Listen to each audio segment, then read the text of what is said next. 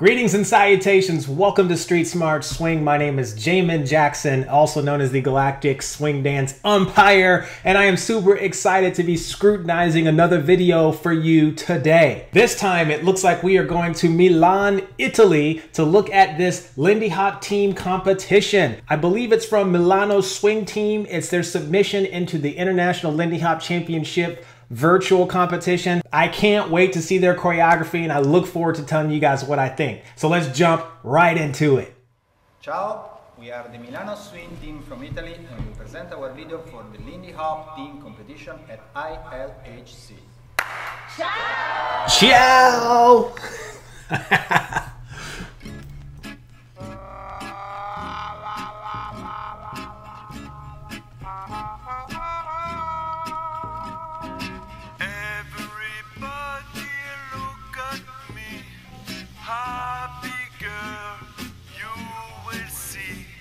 as gold, and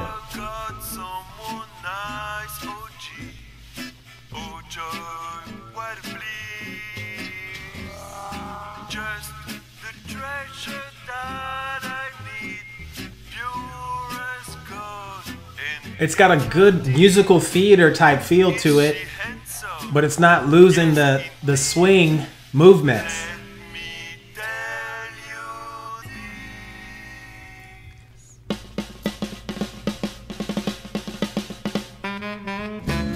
Yes!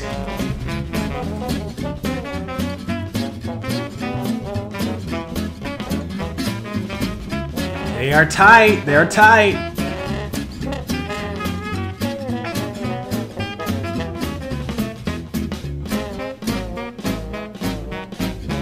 Ah, that was syncopated. Nice, nice.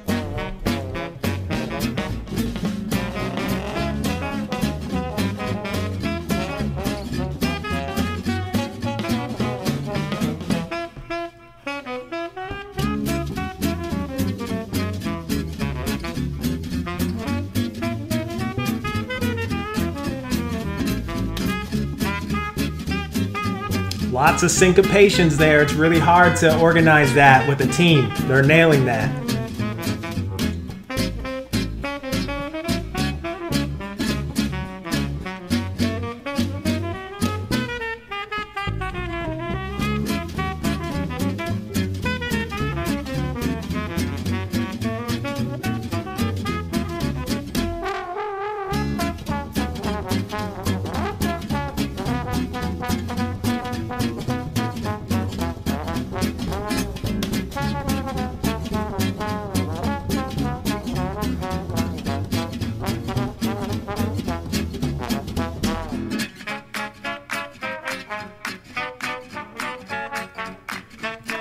Oh, that was good.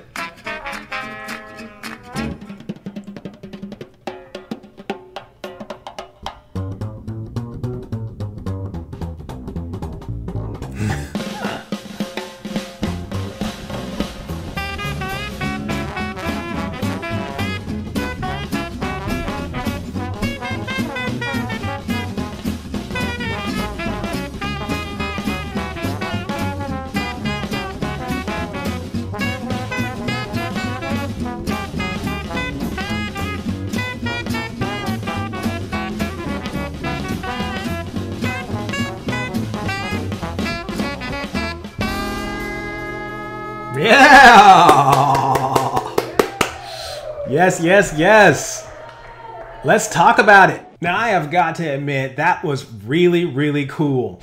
The one thing I like about team competitions that are a little different than normal competitions is the level of focus and detail and care that has to go into the choreography. It's one thing to do choreography with your with a leader and a follower together and it's kind of three-dimensional but it's also kind of like one-dimensional where the audience can see from one angle what you're doing. But with a team, you have that element but you also have this very macro scale uh perspective with choreography that you have to really take advantage of. And so it's a little different to judge these types of competitions because I got to look at the choreography, but I also got to look at how they did the macro choreography and how it all worked together. I got to say, I really loved the musical theater aspect to what they were doing. I, that was my background in dancing, and I love the fact that they were just kind of acting out movements and kind of personifying what we were listening to and hearing with the lyrics. That was really cool. That was different. I also like the fact that there was a lot of detailed choreography.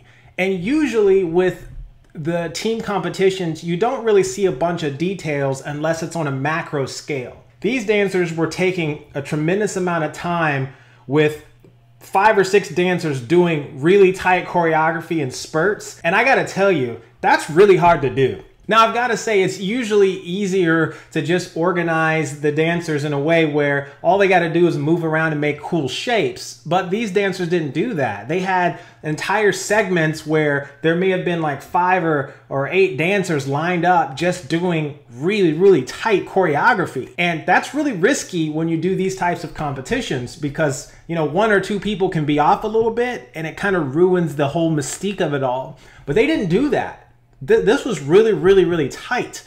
I think my favorite part was this part um, where it wasn't actually a team aspect of it. It was just the, the couples moving in and they kind of did this little cartwheel thing. I've seen it before, but it, I've never seen it done that way.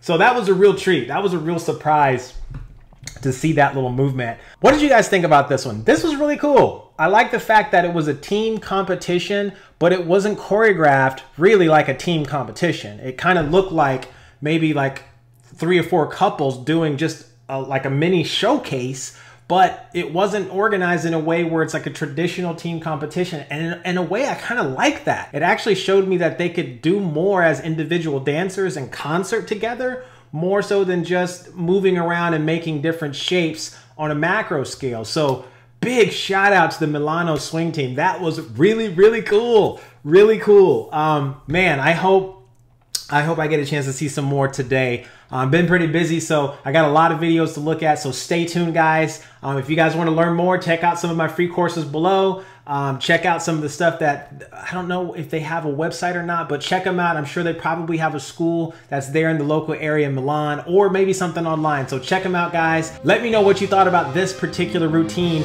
in the comment section below. If I don't see some of you guys' comments below, hopefully I'll see some of you in my class online. Take care.